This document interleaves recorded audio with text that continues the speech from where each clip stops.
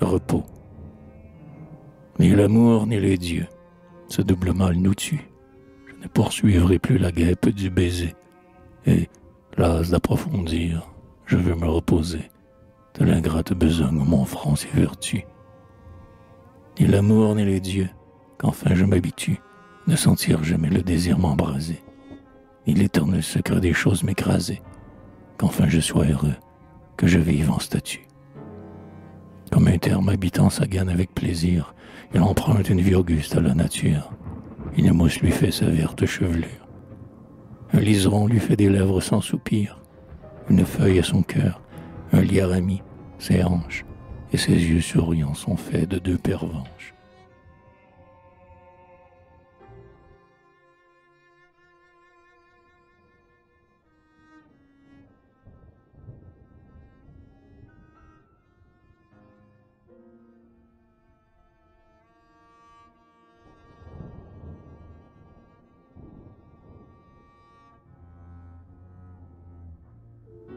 Sieste. Je passerai l'été dans l'herbe, sur le dos, la nuque dans les mains, les paupières mi-closes, sans mêler un soupir à la laine des roses, y troubler le sommeil léger des clairs échos. Sans peur, je livrerai mon sang, ma chair, mes os, mon être, au cours de l'heure et des métamorphoses, calme et laissant la foule innombrable des causes, dans l'ordre universel assurer mon repos. Sur le pavillon d'or que le soleil déploie, mes yeux boiront l'éther, dont l'immuable joie filtrera dans mon âme au travers de mes cils. Et je dirai, songeant aux hommes, que font-ils? Et le ressouvenir des amours et des haines me bercera, pareil au bruit des mers lointaines.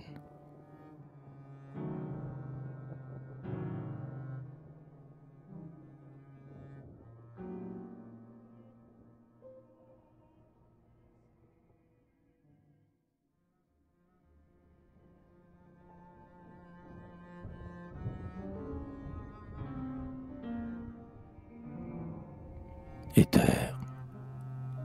Quand on est sur la terre étendue sans bouger, le ciel paraît plus haut, sa splendeur plus sereine. On aime à voir, au gré d'une insensible haleine, dans l'air sublime fuir un nuage léger. Il est tout ce qu'on veut, la neige d'un verger, un archange qui plane, une écharpe qui traîne, ou le lait bouillonnant d'une coupe trop pleine.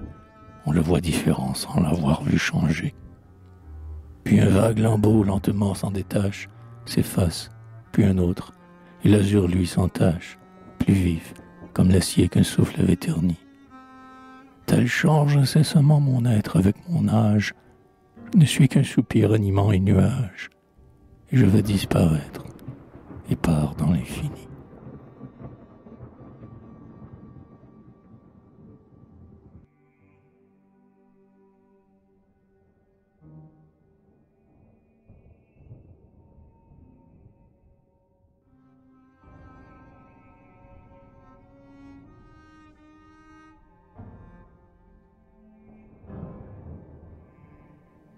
Sur l'eau. Je n'entends que le bruit de la rive et de l'eau, le chagrin résigné d'une source qui pleure, ou d'un rocher qui verse une larme par heure, et le vague frisson des feuilles de bouleau. Je ne sens pas le fleuve entraîner le bateau, mais c'est le bord fleuri qui passe, et je demeure. Dans le flot profond que de mes yeux j'effleure, le ciel bleu renversé tremble comme un rideau. On dirait que cette onde en sommeil en serpente aussi ne sait plus le côté de la pente. Une fleur qu'on y pose hésite à le choisir. Et comme cette fleur, tout ce que l'homme envie peut se venir poser sur le flot de mes vies, sans désormais m'apprendre où penche mon désir.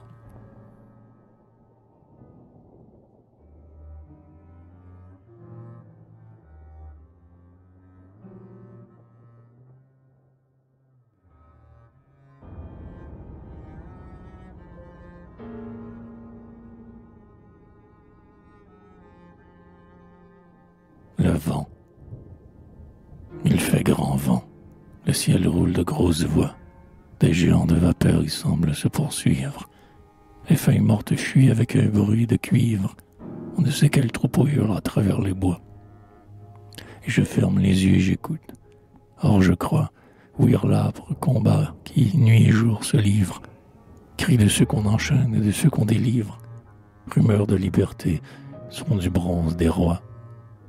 Mais je laisse aujourd'hui le grand vent de l'histoire secouer les chevaux confus de ma mémoire, sans qu'il éveille en moi des regrets ni des vœux?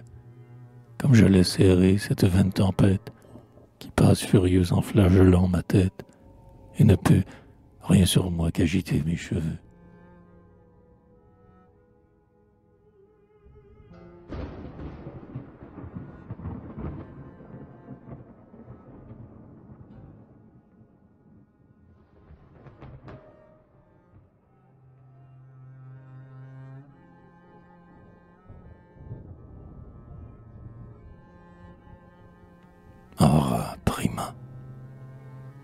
Il salué le jour dès avant mon réveil. Il colorait déjà ma pesante paupière. Et je dormais encore, mais sa rougeur première a visité mon âme à travers le sommeil. Pendant que je gisais immobile, pareil aux morceaux insculptés sur les tombeaux de pierre, sous mon front se levaient des pensées de lumière, et sans ouvrir les yeux, j'étais plein de soleil. Le frais et pur salut des oiseaux à l'aurore, confusément perçu, rendait mon cœur sonore, et j'étais embaumé d'invisibles lilas. Hors du néant, mais loin des secousses du monde, un moment j'ai connu cette douceur profonde, de vivre sans dormir, tout en ne veillant pas.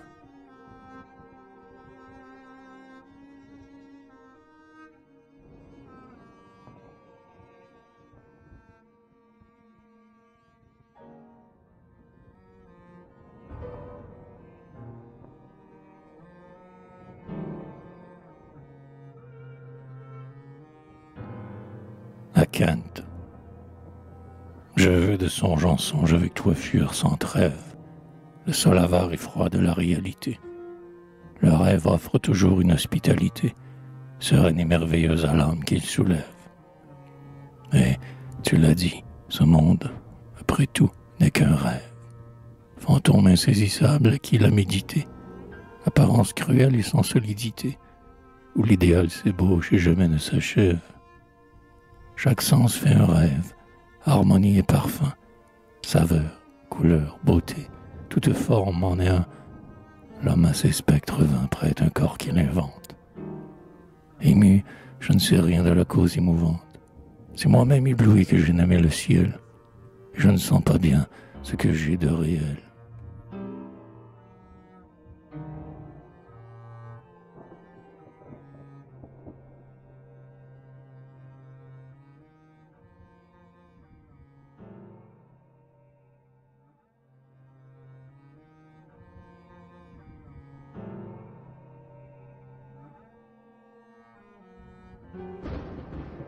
La vie de loin.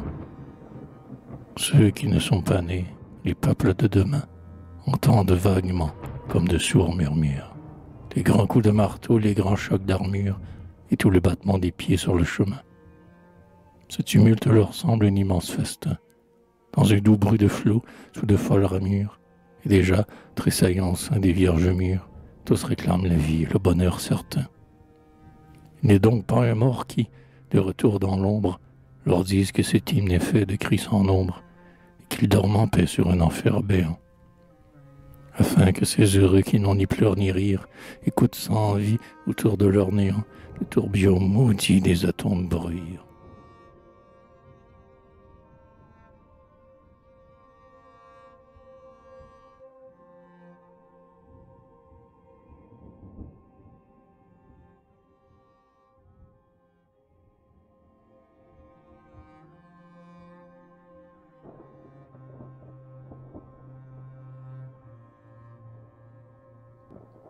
Les ailes.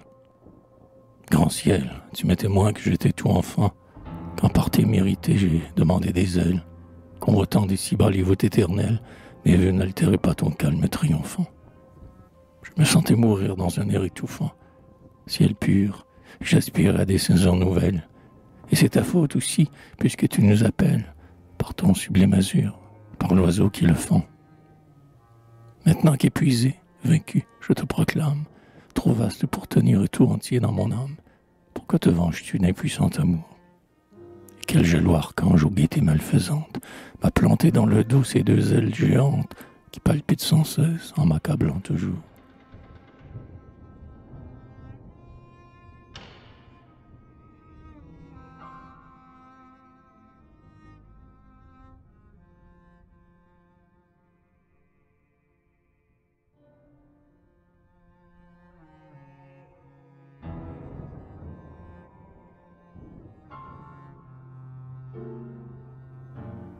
Dernières vacances. Heureux l'enfant qui meurt dans sa septième année, avant l'âge le cœur doit saigner pour jouir, qui meurt de défaillance en regardant bleuir sous les orangers d'or la Méditerranée. On ne tient plus son âme aux leçons enchaînées, et, libre de s'éteindre, il croit s'épanouir. Plus de maître, c'est lui qui se fait obéir, et sa mère est pour lui comme une sœur aînée. Par sa faiblesse même, il fait céder l'effort. Il prend ce qu'il désire avant qu'on le lui donne. Et sa pâleur l'absout avant qu'on lui pardonne. Indocile et choyé, paresseux sans remords, c'est en suivant des yeux la fuite d'un navire qu'un soir, pendant qu'il rêve en voyage, il expire.